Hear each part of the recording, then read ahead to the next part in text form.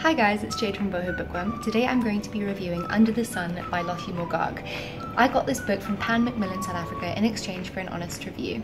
This is a Picador proof copy and it gets published on the 13th of July 2017. Lottie Moggach is the highly acclaimed author of Kiss Me First, which is about to be made into a Netflix and E4 TV show. This book is about a girl called Anna who moves to Spain with her artist boyfriend Michael she buys this beautiful finca for them which she redecorates into what she believes would be their ideal home. Michael appears to contribute absolutely nothing. Straight from the start, Anna's character is constantly belittled and made to be inferior to absolutely everyone else around her. While her friends and family believe that she's living the absolute dream in Spain, the reality is that she's living a nightmare and her entire life is falling apart, her relationship is over. When Michael leaves her with little more than a note goodbye, she's left alone to pick up the pieces with this finca she just bought. Europe's right in the middle of this horrible financial crisis, so she decides to rent out her finca to a local businessman called Simon.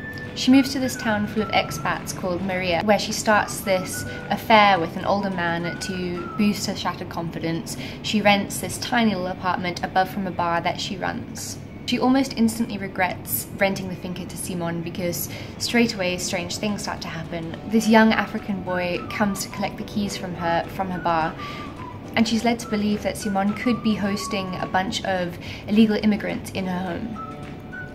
Furthermore, when a body washes up onto the shore, she really believes that Simon has something to do with it and she needs to try and figure out how she can prove it. Being short of cash, Anna is basically trapped in Spain and she will do pretty much anything to try and find a way to escape and get home, but she's not really sure where home is, is anymore.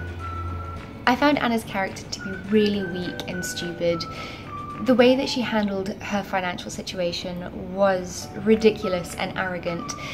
I didn't connect with her character at all, and the only actual time that I found her somewhat enjoyable was a scene, it's not a spoiler, don't worry, but almost from the very beginning, when before her boyfriend leaves her, they, her and her boyfriend are hosting this dinner party for two of their friends, Kurt and Farah, and Farah and Michael are talking behind closed doors, and Farah basically says to Michael, I'm not really sure what Anna brings to the table, and she just loses it and she screams, I bought the fucking table. And obviously Michael leaves her after that, but I just found that to be so funny. This book just wasn't what I expected it to be. I kind of expected it to be a thriller, and then I almost thought that when I started reading it, I thought, oh, maybe it's going to be a bit of a love story, but it was neither, and I actually really am struggling to categorize it. Although it sounds like a lot might happen in this book, not a lot actually did happen and it just wasn't gripping. I felt like it was losing a certain spark. To me, Under the Sun was like building up like a wave and then it just didn't form properly and it fell flat. However, this book did do something priceless for me.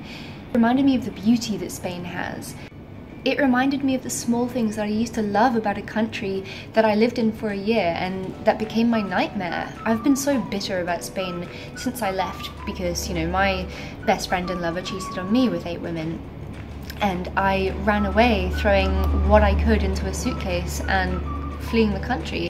This book had me nostalgic under my winter blankets for warm summery days in Spain. Spilling glasses of cava, thick legs of jamon ready to be sliced, screwed, screwed onto a stand. Paella on the beach, tapas with every drink, lobster bisque, the language. It was, it was just a lovely reminder of a place that I called home for a year and will never return to. Overall, I gave this book a two star review. It did do something for me that I will always appreciate it for, but it just fell flat. I'm I'm very sorry. I, I haven't read Lottie Moggach's other book, but I have heard how absolutely excellent it is. So I was hoping for something a little bit more than I got from this book. Thank you very much to Pan Macmillan South Africa for sending me a copy of this book in exchange for honest review and I hope to work with you again in the future. If you are interested in this book, remember it does get released on the 13th of July 2017, so be sure to check out the bookstores when that date rolls around on the calendar. See you guys next time. Bye.